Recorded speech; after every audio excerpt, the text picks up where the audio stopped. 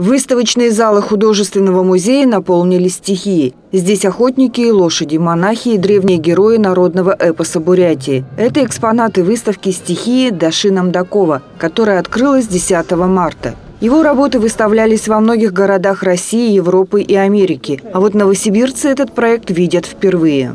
Здесь э, от э, крупной э, бронзовой скульптуры до малой пластики представлено.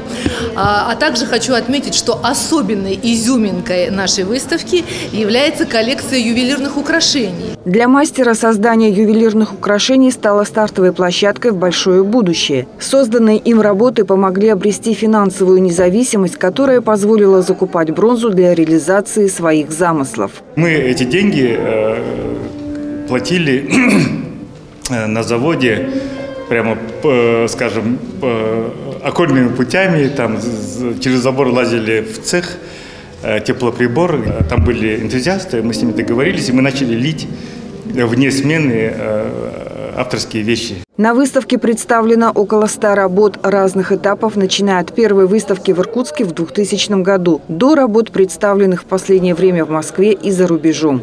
Все произведения представляют собой фантазии на тему народного эпоса Бурятии. Перед зрителями предстают мистические шаманы, юные красавицы и ломающие пространство и время странные существа. Особое внимание привлекают композиции, которые показывают дух и любовь бурятского народа к своей земле, ее энергетику. Думаю, если когда-нибудь у меня будут свои выставки персональные, то, наверное, это будет интересно моему народу, там, сибирякам, потому что мы живем вот в одном регионе. Они понимают, что такое вот, э, Сибирь, снег, э, погода, там, лето так лето, зима так зима. На открытие выставки пришли люди разных национальностей, в том числе алтайцы и буряты. Их нужно смотреть, подходить, отходить, да, слушать, потом снова возвращаться, открывать, закрывать глаза, потому что тут есть что-то такое, да, то, что руками не потрогаешь, но если ты будешь рядом, это можно почувствовать. Мы гордимся Даши и то, что он самородок, представитель коренных народов Сибири.